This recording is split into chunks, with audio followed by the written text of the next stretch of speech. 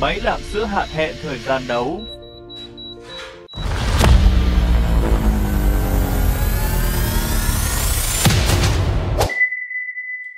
Đổ đậu vào, cho nước. Đóng nắp cho đúng chiều nếu không máy không hoạt động. Nhấn menu để chọn chức năng, nhấn phờ reset để chọn cài đặt thời gian nấu, rồi nhấn xì ta vậy là hoàn thành.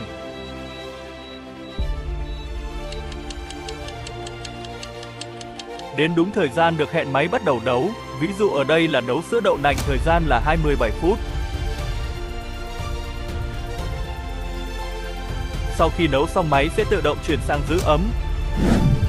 Đối với model GL1410A, cùng làm tương tự như trên,